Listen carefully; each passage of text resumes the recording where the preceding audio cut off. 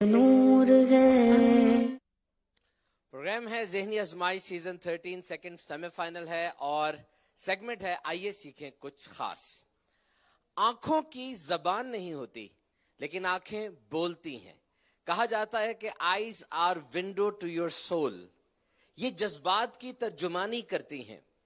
واقعی ایک ماں اپنے چھوٹے سے بچے کی آنکھوں کو دیکھ کر اس کی پوری باڈی کا سکین کر لیتی ہے کہ اندر کیا چل رہا ہے۔ آنکھیں، آئیز، دماغ کے بعد انسانی جسم میں سب سے زیادہ پیچیدہ عزو اور آرگن آف باڈی ہے۔ یہ رنگو روشنی کی دنیا سے کون آپ کا رشتہ جوڑے ہوئے ہیں؟ آنکھیں ہی تو ہیں۔ انسان مختلف طریقوں سے علم حاصل کرتا ہے۔ ہاتھ سے چھوتا ہے، ناک سے سونگتا ہے، زبان سے چکھتا ہے، کان سے سنتا ہے۔ لیکن تمام معلومات کا اسی فیصد وہ آنکھ کے ذریعے دیکھ کر حاصل کرتا ہے۔ کیا آپ جانتے ہیں کہ آنکھ کے ذریعے جو علم انسان حاصل کرتا ہے، دماغ کا پچاس فیصد اس کو پروسیس کر رہا ہوتا ہے۔ اور اب آنکھوں کی اگر کیمرے سے ہم کمپیرزن کریں تو انسانی آنکھ 576 میگا پکسل پر کام کر رہی ہوتی ہے۔ اور کیمرے کی طرف فوکس نہیں کرنا پڑتا کہ اگر دور والی چیز کو دیکھیں تو فوکس کریں گے، ایک دم قریب لے آئیں تو فوکس کریں گے۔ نہیں، بلکہ آپ دور دیکھتے ہیں اور پھر ایک دم قریب دیکھتے ہیں، آنکھ اسی چیز کو ایڈجسٹ کر لیتی ہے۔ جانداروں میں سب سے زبردست طاقتور آنکھ وہ اکاب اور شاہین کی ہوتی ہے۔ اکاب تین میل اوپر اڑتے ہوئے نیچے بھاگتے ہوئے خرگوش کو دیکھ لیتا ہے۔ اور ایک میل کے فاصلے سے سمندر کے اندر مچھلی کو بھی دیکھ لیتا ہے اور انسانی آنکھ ایک کروڑ مختلف رنگوں میں فرق کر سکتی ہے۔ ویسے تو انسانی جسم کے اندر مرمت اور ریپیئر وہ جاری رہتی ہے۔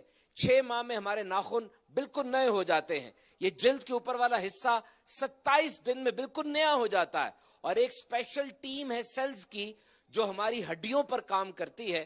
اور دس سال کے اندر ہمارا پورا ڈھانچہ نیا کر دیتی ہے۔ لیکن جسم کے کچھ حصے ایسے ہیں جو کہ بالکل پیدائش کے وقت جیسے تھے، مرتے دم تک ویسے ہی رہتے ہیں۔ اور ان میں ایک آنکھ بھی ہے، جس کے ذریعے اس وقت آپ ذہنی ازمائش کا سیمی فائنل دیکھ رہے ہیں۔ ان کی حفاظت کیجیے۔ سنیے، ان کی حفاظت کس طرح کی جا سکتی ہے؟ سب سے پہلے سال میں ایک بار آنکھوں کا چیک اپ لازمی کروائیں۔ ڈارک گرین ویجیٹیبل، ساگ، پالک، گاجر مچھلی، انڈے، پھل وغیرہ ضرور کھائیں، تمباکو نوشی سے مکمل پرہیز کریں اور سخت گرمی میں دھوپ والے چشمے استعمال کریں۔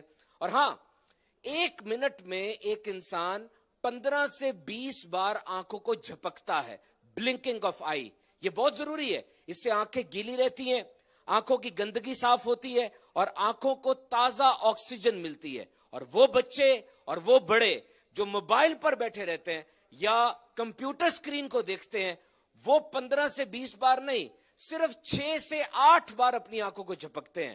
آنکھوں کا مرض ہو سکتا ہے۔ امیر علیہ سنت ارشاد فرماتے ہیں کہ ٹوینٹی ٹوینٹی ٹوینٹی کا اصول یاد رکھیں۔ یعنی جب آپ کام کر رہے ہیں، کمپیوٹر پر ہیں، ہر بیس منٹ کے بعد بیس فٹ دور چیز کو بیس سیکنڈ تک دیکھنا ہے۔ ہر بیس منٹ کے بعد بیس فٹ دور چیز کو بیس سیکنڈ تک دیکھنا ہے۔ بڑی زبردست ایکسرسائز ہے یہ۔ اور یاد رکھیے، چھوٹے بچوں کے آنسو نہیں ہوتے۔ چار سے تیرہ ہفتے بعد آنکھوں میں لیکریمل گلینڈز بنتے ہیں، یہ آنسو پیدا کرنے کی فیکٹری ہے۔ ورنہ بچہ اس سے پہلے صرف چیختا ہے۔ آنسو بھی مختلف قسم کے ہوتے ہیں۔ ایک بیسل ٹیئرز ہوتے ہیں جو خوشی اور غمی میں نکلتے ہیں۔ ایک ریفلیکس ٹیئر ہوتے ہیں جو پیاز کاٹتے وقت یا بائک چلاتے وقت نکلتے ہیں۔ اور تحقیق کے مطابق، غمی اور درد کے وقت جو آنسو نکلتے ہیں ان میں پین کلر ہوتا ہے، درد کشا دوائی ہوتی ہے، جس سے انسان کو سکون ملتا ہے اور دل ہلکا ہو جاتا ہے۔ اے کاش، ہمیں اللہ تعالیٰ کے خوف میں اس کے حبیب صلی اللہ علیہ وسلم کے عشق میں رونا نصیب ہو۔ ان آنکھوں کی قدر کیجیے، ماں باپ کی زیارت کیجیے، خانہ کعبہ کی زیارت کیجیے، قرآن مجید کی زیارت کیجیے، پیر صاحب کے چہرے کی زیارت کیجیے۔ آخر میں پوچھا جاتا ہے کہ ٹی وی سے کتنی دور بیٹھا جائے۔ تو یاد رکھیے سائنٹیفک پرنسپل یہ ہے کہ جتنے انچ کی سکرین ہوگی، اس سے پانچ گنا دور بیٹھنا ہے۔ یعنی اگر بتیس انچ کی سکرین ہے، تو آپ نے تیرہ فٹ دور بیٹھنا ہے۔ اللہ تعالیٰ ہم سب کو نعمتوں کی قدر کرنے کی توفیق عطا فرمائے۔ ماشاء اللہ ماشاء اللہ اللہ کریم ہم سب کو اپنی آنکھوں سے حلال دیکھنا نصیب فرمائے۔ اور سچی بات تو یہ ہے کہ انہیں نہ دیکھا تو کس کام کی ہے یہ آنکھیں؟ انہیں نہ دیکھا تو کس کام